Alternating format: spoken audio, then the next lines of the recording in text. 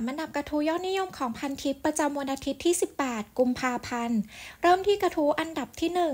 1 อยากเลิกกับสามีที่คบกันมา 12 ปี เจ้าของกระทู้กับสามีเนี่ยคบกันมาตั้งแต่สมัยเรียนมหาลัยละ แล้วก็เรียนจบเนี่ยก็มาทำงานที่เดียวกันเลย อยู่ด้วยกันเนี่ยจนมีลูกหนึ่งคนเนี่ยก็สองคนเนี่ยช่วยกันเลี้ยงลูกเอง ตอนนี้เนี่ยลูกเนี่ยอายุ 6 ขวบได้แล้ว รวมระยะเวลาเนี่ยที่อยู่ด้วยกันมาก็ราวๆ12 ปีได้เนี่ย เจ้าของกระทุกกับสามีเนี่ยเขาทำงานที่เดียวกันแต่ว่าคนละแผนกตำแหน่งงานดีทั้งคู่เลย เงินเดือนทั้งหมดของสามีเนี่ยเจ้าของกระทุกเนี่ยเป็นคนเก็บไว้ทั้งหมด ก็ไม่ได้มีทรัพย์สินอะไรใหญ่ ๆ ด้วยกันเพราะว่าพักที่บ้านของบริษัทอยู่ แต่ว่ามีรถยนต์สองคันที่เป็นชื่อของเจ้าของกระทู้เนี่ยผ่อนหมดไปแล้ว1คันเหลืออีกคันนึงเนี่ยเพิ่งเริ่มผ่อนผ่อนเองเนี่ยก็เงินเดือนเจ้าของกระทู้เนี่ยสูงกว่าสามีประมาณหนึ่งได้ ก็นี้สินส่วนมากก็จะเป็นบัตรเครดิต แล้วก็ค่าใช้จ่ายของลูกเนี่ย คือถ้าเลิกกันแล้วเนี่ยเจ้าของกระทู้เนี่ยต้องลำบากมากเรื่องเงินแน่ๆเลยเนี่ย มันไม่ใช่ว่าเพิ่งหมดรักเขานะ คือเพิ่งหรือว่าเพิ่งอยากจะเลิกกับเขาเนี่ย คือเจ้าของทุกเขาบอกว่าเขาคิดเรื่องนี้เนี่ย มาตลอดหลายปีเลยจ้ะ คิดจนเครียดเลย มองหน้าลูกก็สงสาร มองดูตัวเองก็สงสารเนี่ย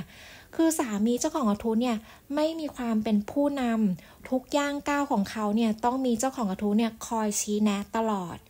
เรื่องที่แบบจำได้แม่นแล้วก็ลืมไม่ลงเลยจ้ะก็คือตอนที่เจ้าของกระทู้เนี่ยตั้งท้องอ่อนๆอยู่เนี่ยก็คือให้เขาเนี่ยพาไปตรวจคัน ทีนี้เนี่ยวันนั้นเนี่ยเขาเมาแต่ว่านัดกับหมอไว้เรียบร้อยแล้วว่าต้องไปเนี่ยเขาก็เลยจะพาไป เจ้าของกระทู้บอกว่าไม่ไปดีกว่า เขาก็บอกว่าเขาขับรถได้นะ แล้วก็เขาก็พาเราเนี่ยขึ้นรถโอ้โหเจ้าของกระทู้เนี่ยทั้งโกรธเอ่อทั้งร้องไห้แล้วก็กลัวเลย กลัวว่าเขาเนี่ยจะพาเจ้าของกระทู้กับลูกเนี่ยไปเสี่ยงอันตรายเนี่ยหรือในวันที่เจ้าของกระทู้เนี่ยเจ็บท้องคลอดเนี่ยคือมันเจ็บทรมานเนี่ยจนนอนไม่ได้เลยเนี่ยหมูนั่งมองสามีทำไมเขาหลับลงได้เนี่ยทั้งๆทที่เราเองเนี่ยกำลังจะคลอดลูกของเขาเลยนะ ปลุกเขาขึ้นมานั่งเป็นเพื่อน เขาก็บอกว่าเขาเนี่ยตื่นมาแล้วเนี่ยก็ช่วยอะไรไม่ได้โหน้ำตาตกในเลยเนี่ย เรื่องที่หนักใจแล้วก็เหนื่อยที่สุดในชีวิตก็คือเรื่องที่สามีเนี่ยไม่ช่วยงานบ้านเลย เขาไม่เคยช่วยซักผ้าล้างถ้วยกวาดบ้านเก็บขยะ เขาไม่ทำเลย ผ้าไม่มีใส่ก็บอกว่าให้เจ้าของกระทู้เนี่ยซักให้หน่อย เหนื่อยสุดๆ เลย เพราะว่าเจ้าของกระทู้เองเนี่ยเขาบอกว่าเขาต้องทำงานข้างนอกด้วย กลับมาก็ต้องเลี้ยงลูก ไหนจะต้องเก็บกวาดบ้านแล้วก็ทำกับข้าวอีก โอ้จริงๆเนี่ยมันมีอีกหลายเรื่องเยอะแยะมากมาย รายละเอียดยิบย่อยเนี่ยเต็มไปหมดเลยนะ เจ้าของกระทู้เลยอยากเลิก ไม่ใช่เพราะว่ามีคนอื่นนะ แต่ว่าเพราะว่าเหนื่อยนั่นเอง มีใคร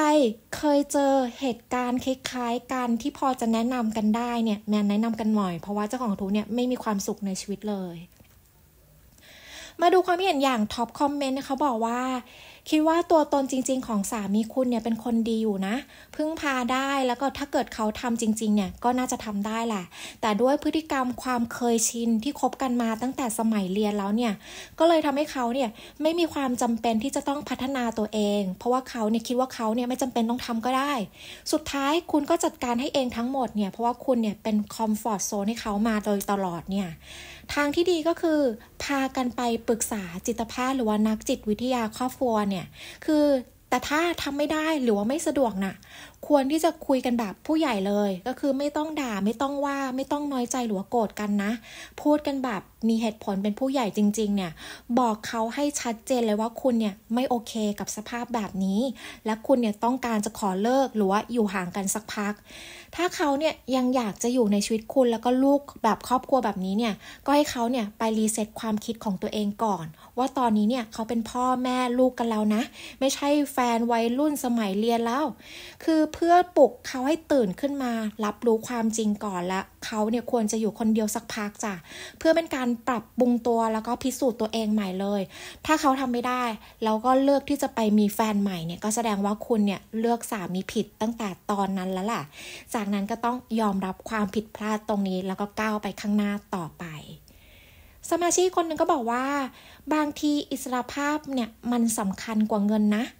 รถคันที่ผ่อนหมดไปแล้วเนี่ยคุณก็เก็บไว้ ส่วนคันที่ผ่อนไม่หมดเนี่ยก็ขายทิ้งไปเลยนี้สินเนี่ยจะได้เบาบางลง แล้วก็เลิกกับสามี ปล่อยเขาไปแต่ตัวนั่นแหละ ตอนหย่าเนี่ยก็สลักหลังให้เขาเนี่ยเลี้ยงส่งค่าเลี้ยงดูลูกเนี่ยเดือนละเท่าไหร่ก็ว่ากันไป แต่ว่าในความเป็นจริงจะส่งหรือไม่ส่งอันนี้ค่อยว่ากันอีกที มาดูกระทู้อันดับที่สอง เปิดโผรถ 11 รุ่นที่ไฟแนนซ์เนี่ยไม่รับจัดมือสอง ใครใช้อยู่อาจจะขายต่อไม่ได้แล้วต่อไปอะเริ่มต้นที่แบรนด์เชฟโรเลต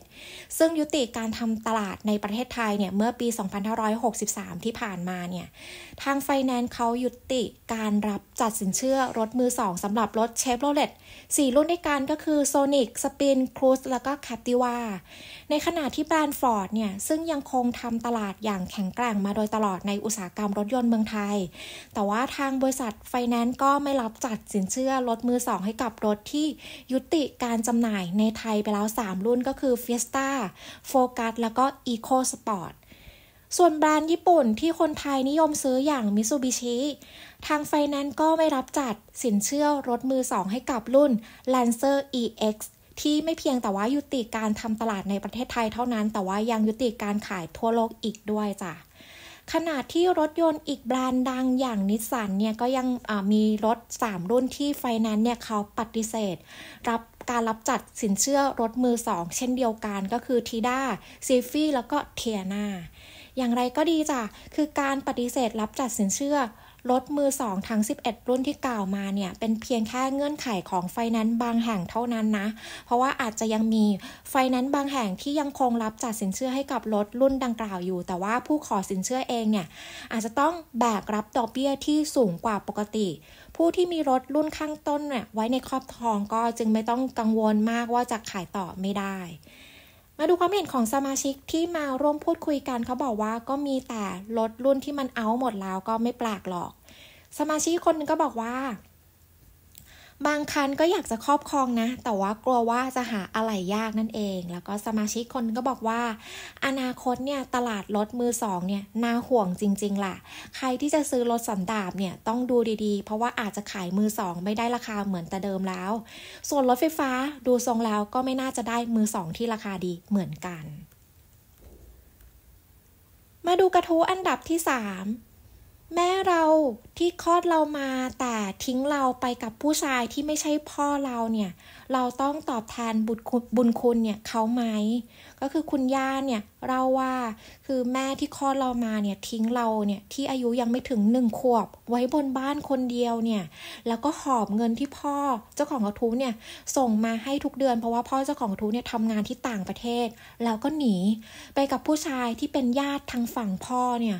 คือพอเจ้าของกระทู้โตขึ้นเนี่ยอยู่ช่วงประมาณมต้นเนี่ยก็เพิ่งได้รู้จักว่าคนคนนี้เนี่ยคือแม่แท้ๆของเรานะ ก็เวลาเจอกันเนี่ยเขาก็เคยให้เงินค่าขนมเนี่ยประมาณ 4-5 ครั้ง ก็ไม่ได้รู้สึกผูกพันซาบซึ้งหรือว่ารักเขาเลย ตอนนั้นแค่รับเงินเขามา เพราะว่าเขาให้เนี่ยจากนั้นเนี่ยก็ไม่เคยเจอกันอีกเลย มันเหมือนแบบต่างคนต่างอยู่เนี่ย พอช่วงนี้ที่เขาน่าจะอายุประมาณ 40 เนี่ยเขาก็เริ่มอยากที่จะเข้าหาเจ้าของกระทู้ละ แต่ว่าญาติญาติของเจ้าของกระทู้เนี่ยอยากให้เจ้าของกระทู้เนี่ยทราบซึ้งในบุญคุณเขา เพราะว่าเขาเนี่ยคลอดเรามา